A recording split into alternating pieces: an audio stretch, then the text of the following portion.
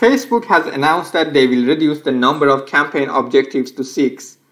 Currently, when you create a new campaign on Facebook ads, there are 11 campaign objectives to choose from. But Facebook is reducing the number of campaign objectives. The six new campaign objectives are awareness, traffic, engagement, app promotion, leads, and sales. Currently, when you want to create a new campaign on Facebook ads, the interface looks like this. But soon the interface will look like the right image where there will be six campaign objectives to choose from. This is how the existing 11 campaign objectives will be merged into six objectives. Brand awareness, reach, and video views will all be incorporated into awareness objective.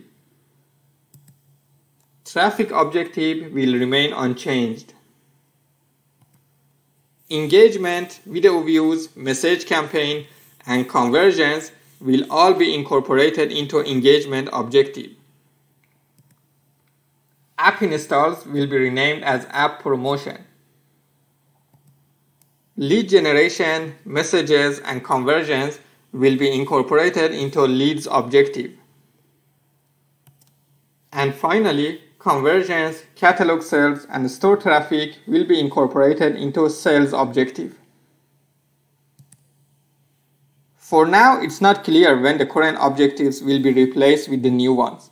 Facebook has said that this will be only to simplify campaign objectives and nothing will change in terms of functionality.